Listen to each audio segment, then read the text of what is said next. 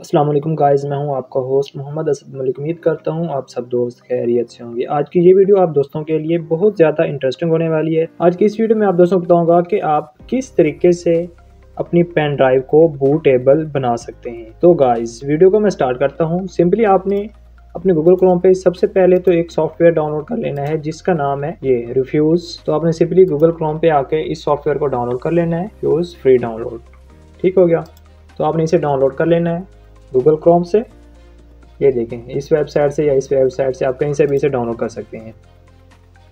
ये आपने latest version ही download करना है।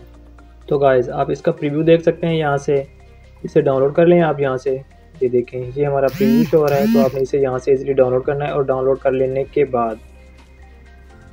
मैंने क्योंकि पहले से डाउनलोड किया हुआ है तो आपको ये प्रीव्यू शो हो रहा है। मैंने यहाँ पे ये दो वर्जन यूज़ डाउनलोड किए हुए हैं three point one three three point one five तो इस तरीके से डाउनलोड कर लेने के बाद मैं यहाँ से लेटेस्ट वर्जन को ओपन करता हूँ। मैं डबल क्लिक करता हूँ तो हमें इस तरह का प्रीव्यू शो होगा उसके बाद मैं यस पे क्लिक करता हूँ।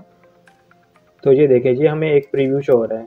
नो लेबल क्योंकि मैंने पहले से अपने पेन ड्राइव को इंसर्ट किया हुआ है, अपने सिस्टम में ये देखें। मेरी ये सोलह हाँ सिक्सटीन जी की ये मेरी फ्लैश लगी हुई है। तो इसके अलावा, यहाँ तो ये हो गया ओके इसके अलावा मैं यहाँ से सिलेक्ट डिवाइस करता हूँ, अपनी आईएसओ फ़ाइल तो आपने इस तरह की आईएसओ फ़ाइल भी डाउनलोड कर लेनी है अपने गूगल क्रोम से, जो एक्टिवेटेड वर्जन हो। जैसे देखें window seven all version activated तो सिंपली मैं दोनों विंडो सेवन भी और टेन भी आप दोस्तों को बता देता हूँ, इसमें थोड़ी चेंजेस है। तो आप विंडो सेवन और विंडो टेन को अपने कंप्यूटर सिस्टम पे कैसे इंस्टॉल कर सकते हैं? तो सिंपली मैं यहाँ से सिलेक्ट डिवाइस करता हूँ। यहाँ से ये देखें विंडो के फोल्डर में आके ये विंडो सेवन है। तो विंडो सेवन को डबल क्लिक करता हूँ तो ये देखें, ये मेरी ओके हो गई।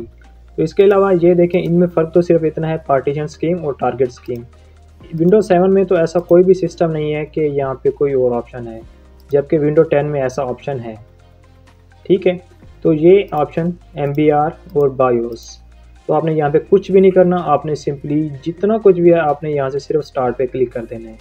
इससे पहले मैं आपको विंडो 10 का भी ऑप्शन बता देता हूँ, उसे आपने कैसे इंस्टॉल करना है, यहाँ से सिलेक्ट पे आता हूँ। सिलेक्ट पे आने के बाद ये देखिए विंडो 10 है तो यहाँ से मैं इसे डबल क्लिक करता हूँ और उसके बाद मैं यहाँ से इसे डबल क्लिक करता हूँ। ये हो गया।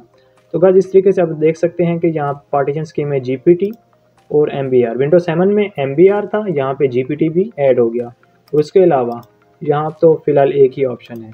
तो सिंपली मैं यहाँ से GPT के अलावा एम बी सेलेक्ट करता हूँ। सेलेक्ट करने के बाद ये हो गया।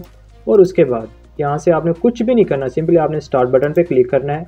उसके बाद ये देखें वार्निंग ऑल डाटा मतलब कि हमारे पेन ड्राइव में जो भी डाटा है वो टोटल क्लीन हो जाएगा, हमारी जो फ्लैश है, हमारी जो कार्ड है वो बिल्कुल फॉर्मेट हो जाएगा। उसके बाद ये बिल्कुल ज़ीरो से शुरू होगा तो यहाँ से मैं इसे ओके करता हूँ, हमारा डाटा क्लीन हो जाएगा।